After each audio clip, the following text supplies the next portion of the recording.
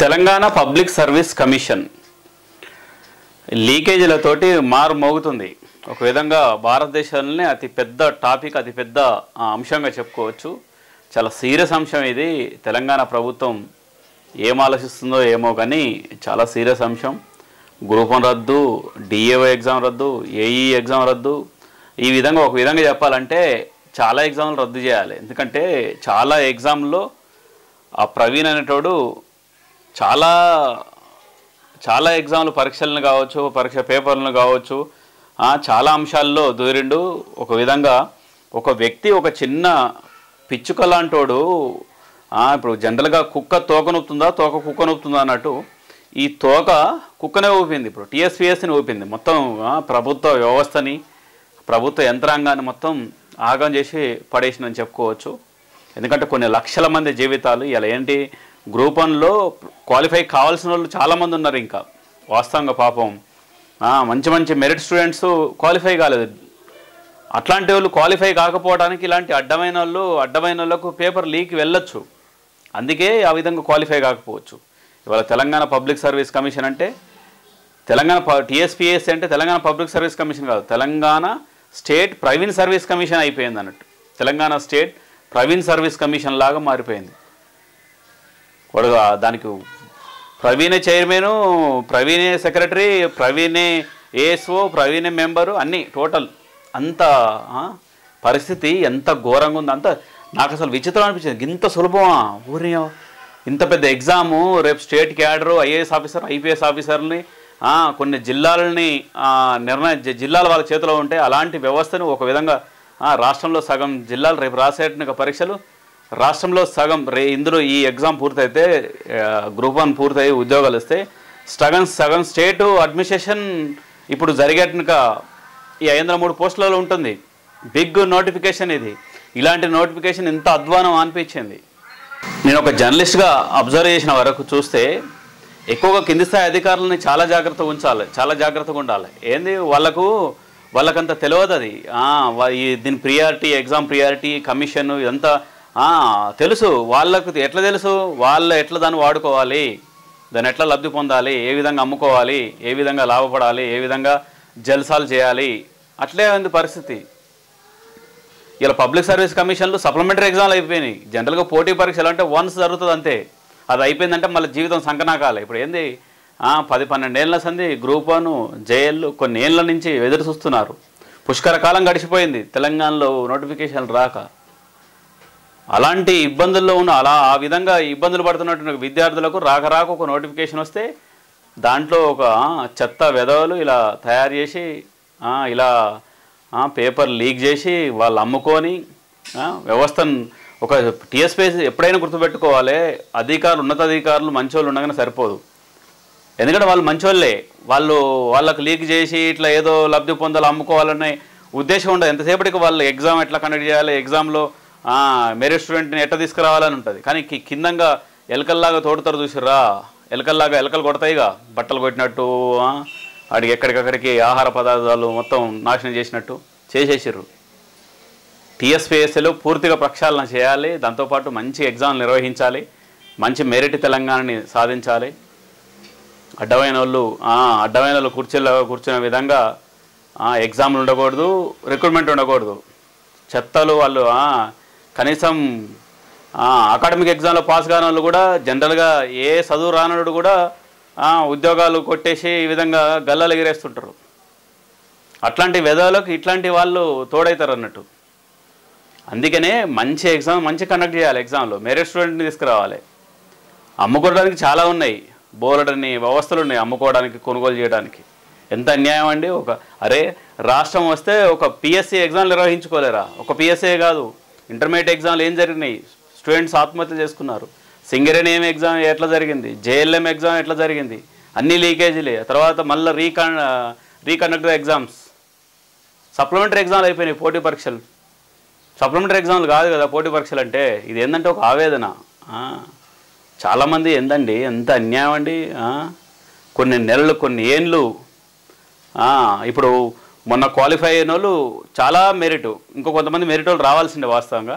మరి వాళ్ళ ఆన్లైన్ ఈసారి వస్తారా రారా అనేది కూడా చెప్పలేం.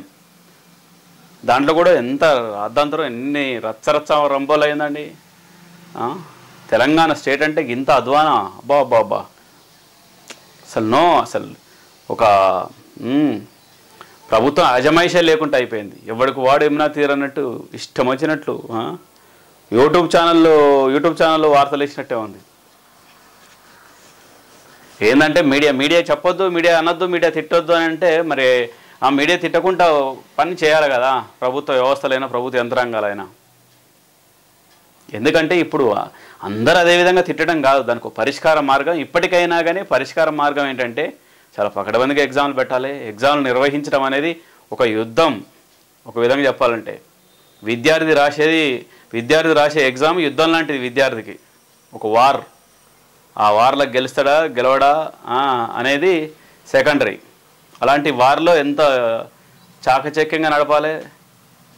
పరీక్షలు నిర్వహించడం అనేది అధికారులకు చాలా చాలా అందులో వాళ్ళ నైపుణ్యం వాళ్ళ టాలెంట్ అనేది బయటపడుతుంది. ఒక టీఎస్పీఎస్సీ చైర్మన్ కానీ సెక్రటరీ కానీ మంచి ఉద్దేశంతో మంచిగా ఉంటే సరిపోదండి.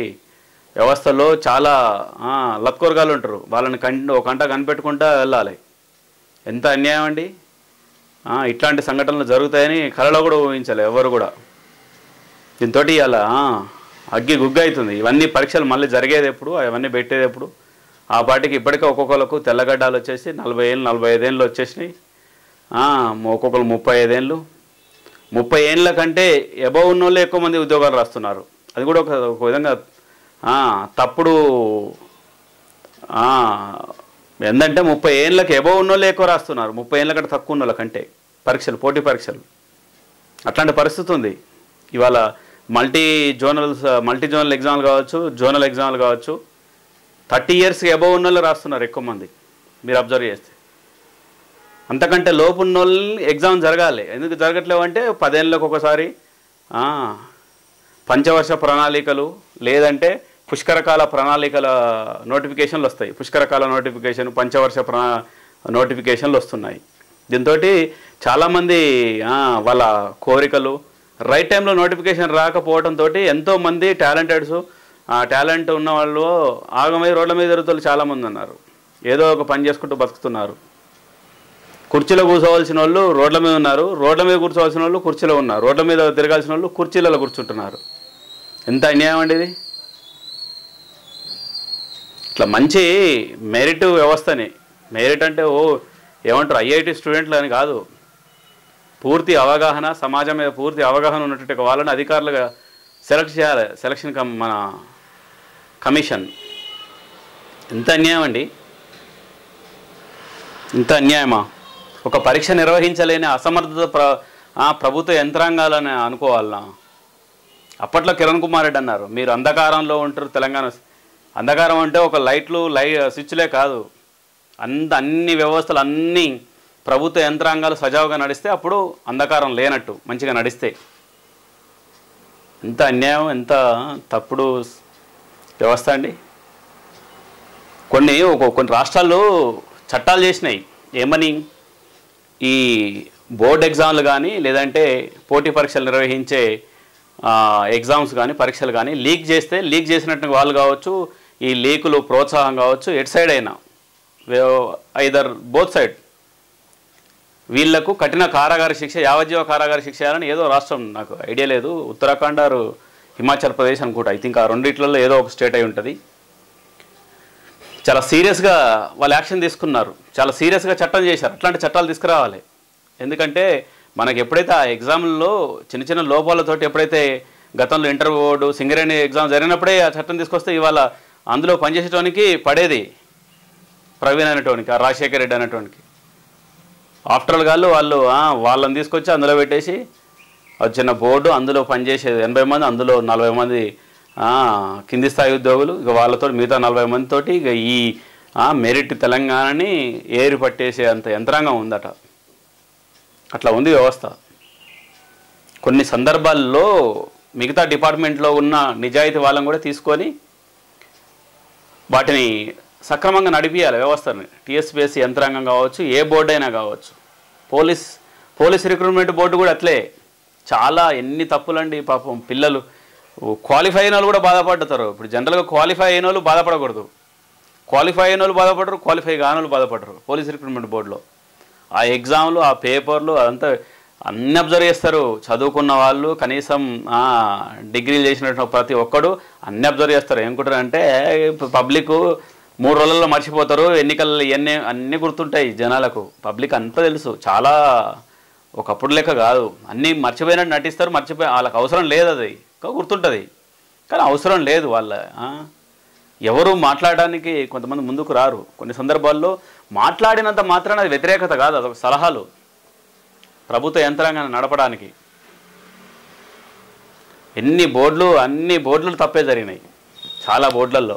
పోలీస్ రిక్రూట్మెంట్ బోర్డు కూడా చాలా తప్పులు జరిగినాయి. చాలా బాగా ఒక విధంగా టార్చర్ పెట్టారు. తర్వాత కోర్టుకి వెళ్ళటం కోర్టు మళ్ళీ పర్మిషన్ మళ్ళీ అలౌ చేయటం మళ్ళీ పరీక్షలను ఏది ఈవెంట్స్ పెట్టడం ఈవెంట్స్ నుంచి మళ్ళీ రిక్రూట్మెంట్ చేయటం. దాంతో ముందు క్వాలిఫై అయిన పరిస్థితి ఏంది? అంత లేట్ ప్రాసెస్ కొన్ని ఏండ్లు. ఇవన్నీ ఇట్నే కొనసాగితే ఈ ఎన్నికల్లో కూడా ఈ ఎన్నికల కంటే ముందు కూడా ఎగ్జామ్స్ జరగవు ఉద్యోగాలు ఎవరికి రావు. బడ్జెట్లో వెయ్యి కోట్లు ఖర్చు పెట్టారండి. వెయ్యి కోట్లు బడ్జెట్ పెట్టారు కొత్తగా రిక్రూట్ అయ్యే ఉద్యోగాలకు ఇవ్వాలని. అది బడ్జెట్ పెట్టడం ఒకటే కాదు జనరల్గా పరీక్షలు నిర్వహించే విధానంలో కూడా చాలా సీరియస్ యాక్షన్ ఉండాలి. ప్రభుత్వం అంటే జోకులు కాదు. ప్రభుత్వం నడపడం అంటే చాలా చాలా కసరత్తు చేయాలి. మానిటరింగ్ ఉండాలి ఎప్పటికప్పుడు రివ్యూలు ఉండాలి. ఒక్కసారి రివ్యూ జరిగిందంటే మొత్తం A to Z dawn to dusk మొత్తం నడవాలి. అన్ని రకాలుగా చర్యలు తీసుకోవాలి. ఆ విధంగా ఉండాలి. ఏం ప్రభుత్వ యంత్రాంగాలు ఏం వ్యవస్థలు. ఇట్లా. ప్రభుత్వం మంచి తెలంగాణ ప్రభుత్వం అంటే మా మా ప్రభుత్వం మనదే కదా. అందులో ఏ చిన్న సంఘటన జరిగినా ఇబ్బంది పడేది ప్రజలమైన మాకే మాకే. అభ్యర్థులమైన మాకే విద్యార్థులమైన మాకే. విద్యార్థుల తల్లిదండ్రులైన మాకే.